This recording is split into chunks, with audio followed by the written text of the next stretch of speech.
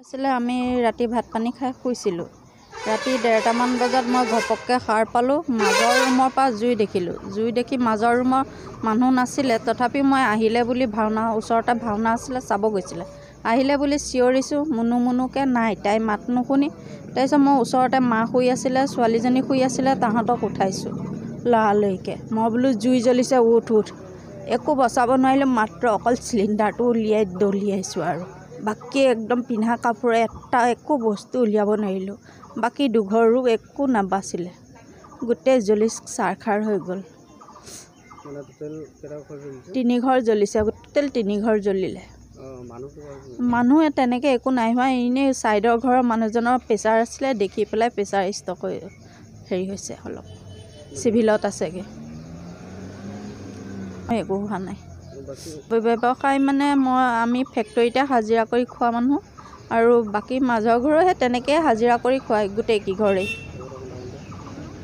তেনেকৈ হাজিৰা কৰি খোৱা মানুহে আছোঁ প্ৰায়?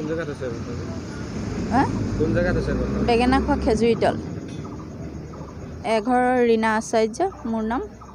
আৰু এঘৰৰ বাবুল দাস অ' নাম? আকাশ মণ্ডল।